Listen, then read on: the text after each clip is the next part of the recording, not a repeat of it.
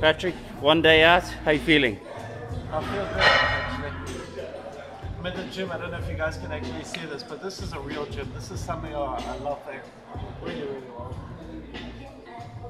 I mean, that's, uh, I can't say that preparation has bothered me too much because I've been enjoying myself with some sweets that I haven't had for months. Some good stuff. And today I'm just keeping it absolute low sodium, low, so, low sodium, low sodium, not low sodium, low, low sodium. With a little bit of rice and chicken and that's it. And um, I got so much sweets. I've got so much Oreos and Reese's and English.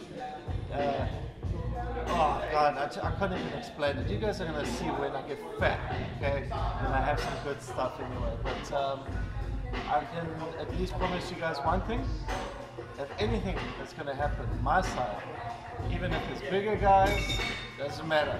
When it comes to stage performance, I'm gonna bring it, and I hope you guys are ready to as well. So it's gonna be sweet.